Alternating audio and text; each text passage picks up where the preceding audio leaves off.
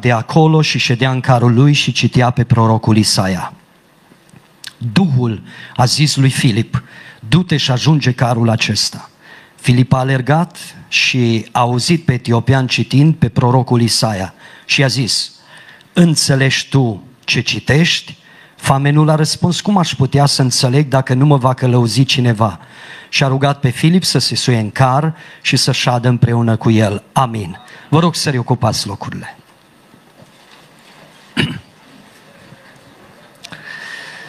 Așa cum am spus, voi începe cu o mărturie și vreau în primul rând să vă binecuvintez pe toți și să mulțumesc lui Dumnezeu că după masa aceasta sunt aici împreună cu dumneavoastră.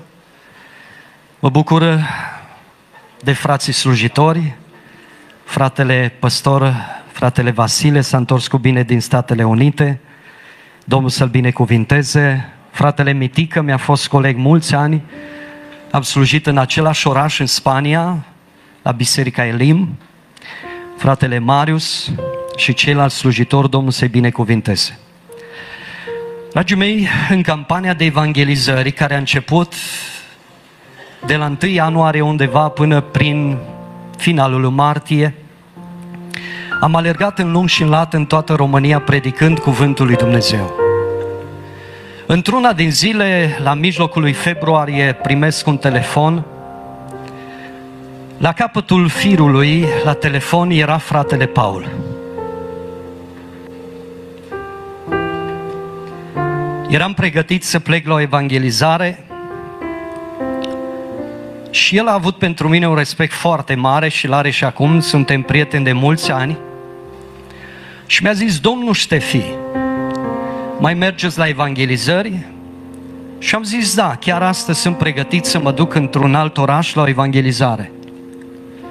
La care el îmi zice, mă luați și pe mine cu dumneavoastră? Și în mintea mea, ca om, am zis, să iau un străin, deși mi-e prieten, trebuie să anunț pe frați, trebuie să le spun, nu e cântăreț, nu e întors la Domnul, nu poate face nicio slujbă, măcar o rugăciune. Și am zis în mintea mea ca om, nu. Dar în timp ce eu meditam și mintea procesa Duhul lui Dumnezeu la nivelul minții, îmi spune, ia pentru că va fi seara în care El își va preda viața în mâna mea. Am zis, te rog să te pregătești la ora de, sunt în fața casei, am să te iau și să mergem împreună. Am ajuns în localitatea eh, respectivă unde trebuia să predic cuvântul lui Dumnezeu la timpul de rugăciune. A fost un fost polițist, un fost șef de post care a avut un îndemn de rugăciune, întors la Dumnezeu de câțiva ani de zile. El a spus cum Dumnezeu i-a atins inima, cum Dumnezeu l-a mântuit, cum Dumnezeu i-a vorbit și eu acum urmăream pe Paul, să văd reacțiile lui. Observam că Dumnezeu lucră la nivelul minții, observam că Dumnezeu începe să deschidă inima, să perceapă și să primească cuvântul.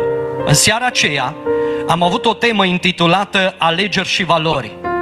La urmă am spus, după ce am predicat cuvântul lui Dumnezeu, cine vrea în seara asta să aleagă cea mai mare valoare din lume, din istorie, cuvântul și pe Hristos.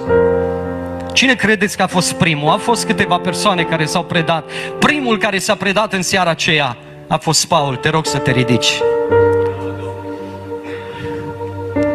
Cu lacrimi în ochi s-a apropiat de mine și a zis Eu vreau să slujesc pe Domnul. Viața fără Dumnezeu nu are nicio valoare.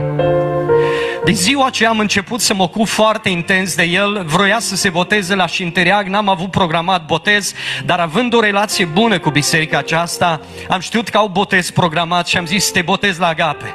Dar dumneavoastră să puteți fi prezent, fac tot posibilul să fiu prezent. Și slavă Domnului că slujba este între cele două programe și am putut să fim aici mai mulți slujitori, lăudat să fie Domnul. Doresc ca Dumnezeu să-L binecuvinteze. Mulțumesc! Vreau acum să vă spun, dragii mei, ce face Dumnezeu când vrea să schimbe identitatea unui om. Dacă ați observat pe scurt, am prezentat modul cum Dumnezeu a lucrat în viața lui și în inima lui.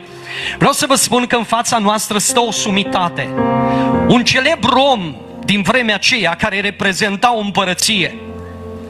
Ministrul de stat, spune Biblia, cuvântul lui Dumnezeu, era omul care îngrijea și administra toate bogățiile împărătesei candacenilor din vremea aceea. El reprezenta o împărăție, dar de pe pământul acesta. Era o sumitate. Era un celebru om, era un ministru de stat. Omul acesta era interesat de credință dar n-a găsit credința unde o căuta el. Am văzut aici prieteni, doamne și domni, am văzut aici tineri și oameni mai în vârstă. Vreau să vă spun că nu sunteți datorită acestor oameni aici. Prin faptul că sunteți aici să însoțiți și la urmă să le dați o floare și o îmbrățișare, nu. Sunteți în, după masa aceasta aici la agape că Isus vă iubește. Sunteți aici pentru că și dumneavoastră sunteți în planul de mântuire a lui Dumnezeu. Sunteți aici că Dumnezeu v-a pus pe drumuri când Dumnezeu vrea să schimbe identitatea unui om. Unu, Hristos îl pune pe drumuri. Aleluia. Și spune Biblia că el a plecat din Etiopia și s-a dus la Ierusalim 3200 de kilometri geografic, în vremea aceea era drumul trasat. 3200 de kilometri într-o caliașcă să găsească credința și nu găsește credința la Ierusalim. Și în momentul acela când are un impactul în viața lui de descurajare, de deznădejde. Mai mult decât atât, istoria spune că în vremea aceea în templu, în templu când mergea cineva, un străin, n-avea voie să intre în încăperea din templu decât în curtea templului. Poate dezamăgit. Se întoarce de la Ierusalim și spune, n-am găsit credință aici. Nu știu dacă în seara aceasta vei găsi cu adevărat credința în adunarea aceasta, în biserica aceasta. Dar vreau să vă spun că veți găsi credința în Cuvântul lui Dumnezeu. Cuvântul lui Dumnezeu este Isus și Isus Hristos a coborât din glorie și din slavă și a părăsit gradele și a venit pe pământul acesta. V-a spus întrebare, stimați creștini, de ce s-a născut Isus într-o iesle? De ce? Nu putea Isus să se nască în Cluj, în cel mai frumos uh, uh, castel, în cel mai frumos hotel, în cea mai frumoasă casă în Bistrița, în București, în America, în Australia, în India, oriunde în lumea asta. Nu putea să se nască în cel mai frumos hotel din vremea aceea, în cea mai frumoasă și specialistă clinică. Nu! Hristos a născut într-o iezle ca să vă îmbogățească pe dumneavoastră. Să mă îmbogățească pe mine. Pentru că ne-a dat posibilitatea și oportunitatea să putem avea acces la El, la Isus.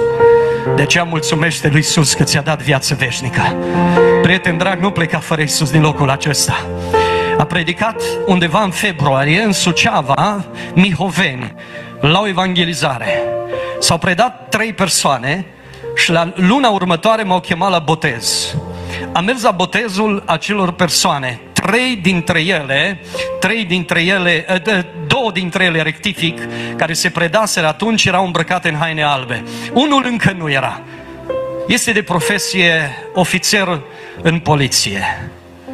Era frumos, la costum, la cravată, asculta din nou cuvântul lui Dumnezeu și la un moment dat am spus, uite apă, ce mă împiedică să fiu botezat? Și după ce au intrat cele două persoane în apă și le-a, le-am botezat împreună cu pastorul bisericii locale de acolo, acest ofițer de poliție s-a ridicat în picioare, un bărbat așa puternic, vreo sută de kilograme, spate mare, a zis eu, de aici nu mai plec nebotezat. Și am zis fratelui de acolo, păstorului, am zis, ce facem? El zice, îl botezăm. Așa, așa îl botezăm. Și l-am botezat în costum, la cravată, a intrat în apa botezului. Poate va fi vreo doamnă, vreun domn aici, care după ce se vor boteza astea șapte minuni, se va mai boteza și a opta, că știți ce înseamnă opt? Un nou început. Lăudat să fie numele Domnului și doresc ca Dumnezeu să vă binecuvinteze. Doi, când Dumnezeu vrea să-ți schimbe identitatea, știți ce face? Îți pune Biblia în mână. Amin. Îți dă cuvântul lui Dumnezeu. N-a găsit credința la Ierusalim, dar a găsit cuvântul lui Dumnezeu pe care l-a cumpărat. Poate ai Biblia pe noptieră, poate ai Biblia pe dulap, poate ai Biblia în mașină și nu citești. În clasa 12 în anul 97, când am terminat liceul, stăteam în internat și eram opt colegi de internat. Eu eram pendicostal, unul baptist și restul prieteni, frați ortodoxi. A venit la mine și au zis, Ștefi, tu ești pocăit. Pe tine Dumnezeu te ascultă și tare mi-a crescut inima. Măi, uite și ei zic că Dumnezeu mă ascultă și Dumnezeu mă ascultă. Roagă-te pentru noi să luăm toți bacul. Și am zis, uite, vă promit că mă rog pentru voi. Dar voi promiteți-mi că veniți odată cu mine la biserică. Odată, măcar odată. Era o seară de evangelizare, un pastor din Timișoara, Nicu Iliesi, a venit să predice în seara aceea evangeliza, la evangelizare în orașul Gura Hons. Acolo am făcut liceul, județul Arad. Și i-am dus pe toți la evangelizare. I-am urmărit pe toți să văd ce fac. La un moment dat unul se uita pe sus, pe tavan, pe pereți uh, și era tare plictisit. Și după ce s-a terminat evangelizarea, ne-am dus în internat și acum i-am întrebat pe fiecare. Unul mi-a zis, mi-a plăcut cântarea, altul predică, altul zice, la un moment dat ajung în dreptul acelui tânăr, colegul meu, Petrișor. Zic, Petrișor, tu ce ai făcut? Ți-a plăcut? Nu. Măi, Ștefi, nu te supăra pe mine. 15 minute am rezistat, dar mai mult nu. M-am plictisit. Eu nu o să depășesc 15 minute de predică, nu vreau să vă uh, plictisesc. Vreau ca Dumnezeu să dea har fratelui Bujor în continuare când va predica Evanghelia. Dar am zis, da auzi, ce ai făcut? Știți ce mi-a zis? Ce am num- început să număr becurile. Și zice, la un moment dat am numărat 156 de becuri. Și zice, dar să vezi ceva, Ștefi, ultimul nu ardea, era ars, era stins, toate ardeau și ăla nu ardea. Și la un moment dat Dumnezeu mi-a dat o inspirație. Și am zis, tu ești la, tu nu arzi, tu ești mort, tu față de Hristos ești mort. Vă mărturisesc, au trecut mulți ani de atunci, parcă văd scena aceasta. Și văd Duhul lui Dumnezeu cum a început să lucreze la mintea lui, a început să-i tremure mâinile. Pe noptiera, în noptiera mea unde dormeam aveam o Biblie micuță așa a pus mâna pe ea, era toată însemnată, era plină de hârtii și de uh, schiți mici de predică, a pus mâna pe ea și a zis, asta mi-o dai mie, pentru că nu mai vreau să trăiesc fără Biblie. Și am zis, eu dau ție, nicio problemă. Ce face Dumnezeu când vrea să te mântuiască? Îți spune Biblia în mână. Nu m-am mai întâlnit cu el niciodată, dar vă spun ceva dureros. După 15 ani, poate nici chiar, după ce am terminat liceul, a murit într-un accident de tir. Nu știu, a murit mântuit sau nemântuit, nu ne-am mai întâlnit întâlnit de când am terminat liceul, dar îmi doresc să-L întâlnesc în cer. Pentru că atunci când Dumnezeu vrea să schimbă identitatea, îți spune Biblia în mână. Asta a făcut Dumnezeu. Dumnezeu i-a pus Biblia în mână. Și când momentul în care Dumnezeu strigă pe Filip, du-te și ajunge carul acela, Biblia spune că Filip a ajuns carul. V-a spus întrebarea cum a ajuns carul. N-a avut 170 de cai mașina, n-a avut 250, dar i-a dat Dumnezeu turbo, i-a dat Dumnezeu putere, l-a luat Duhul Sfânt pe sus și l-a dus acolo. Și când a ajuns carul și încheie mesajul, gândul din această după masă, trei, ca să te mântuiască Hristos, ca să schimbe identitatea, pregătește evanghelistul pe fratele Marius, pe fratele Bosbiș, pe fratele Vasile, pe mine, pe alții, pe fratele Gabi, pe fratele Silviu, pregătește Dumnezeu evangeliștii care să vă vorbească. De câte ori n-am vorbit fratelui Paul, dar a venit o zi când Hristos i-a schimbat mintea. A venit o zi când a zis da pentru Dumnezeu. Nu vrei să fie seara asta ziua în care să zici da lui Hristos. Nu vrei să fie seara asta în seara în care să spui, Doamne, Tu mi-ai pus Biblia în mână, Tu mi-ai dat harul să gust din cuvântul Tău. Nu vreau să plec din locul acesta fără Tine. Nu vreau să plec fără Evanghelie. Dumnezeu a pregătit evanghelistul. Știți ce a făcut evanghelistul? A ajuns carul și l-a predicat pe Hristos. A vorbit de politică, a vorbit de afaceri, a vorbit de școală, de medicină, a vorbit de lumea aceasta europeană, mondială, de război sau atâtea uh, nenorociri care se întâmplă, ci l-a predicat pe Hristos, a deschis Evanghelia și l-a vorbit pe Isus. Știți cine este Isus? Isus e Mântuitorul. Isus e Salvatorul vieții dumneatale. Isus e medic. Isus e... Isus e tot. Isus e tot. Și vreau să vă spun ceva. Luați în serios.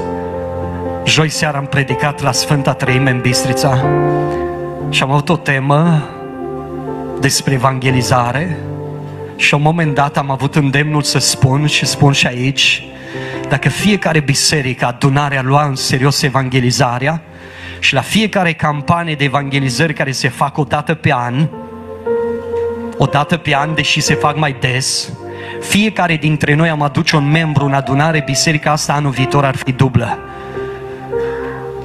Următorul an ar fi triplă. Dacă fiecare dintre noi am luat în serios, a luat Filip în serios, vocea îngerului, a luat în serios vocea Duhului Sfânt, ajunge carul acela. A luat în serios. Haideți să luăm în serios. Paul și toți ceilalți dragi, luați în serios pocăința. Cu Isus nu e greu. Poate unii vă vor zice pocăința e grea. Nu! Pocăința nu-i grea. De 23 de ani sunt pastor, de 28 de ani predic Evanghelia, de mic copil îl slujesc pe Dumnezeu. Pocăința nu-i grea. Pocăința e ușoară cu Isus. Știți când e greu? Când șchiopătăm, când mergem în mizerie, când mergem de sub umbra lui Dumnezeu, când stăm sub mâna lui Dumnezeu. Pocăința e ușoară. Cu Hristos ești mai mult? Spune stare. Mai mult decât biruitor. În numele Lui, agape are biruință. Amin. Amin. Haideți să ne ridicăm cu toții în picioare. Am vrea să cântăm și o cântare, să avem inima deschisă și să avem mâna, portofelul deschis. Vrem să ne închinăm Domnului și cu darurile de bunăvoie. Ne bucurăm că a ajuns și fratele păstor. Vine dia